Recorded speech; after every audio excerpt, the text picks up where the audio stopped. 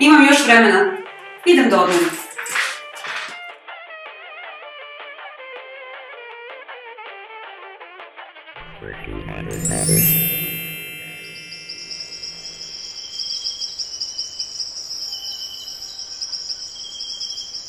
thank you